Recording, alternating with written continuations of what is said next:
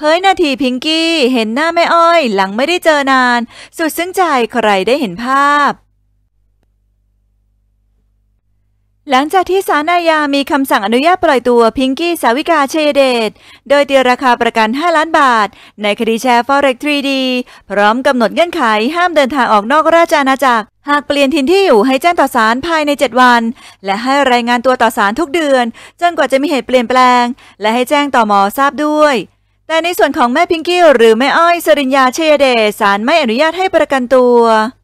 และระยะเวลาที่ผ่านมาหลายเดือน แม่อ้อยต้องใช้ชีวิตอยู่ในเรือนจำซึ่งทางติ๋มทีวีภูพันธิพาสกุลชัย ได้ออกมาเปิดเผยชีวิตของแม่นางเอกสาว โดยระบุว่าพร้อมลงไปมาก เจอหน้ากันครั้งแรกอีกฝ่ายก็ร้องไห้ไม่หยุด พร้อมดีใจที่ลูกสาวได้ประกันตัวแล้ว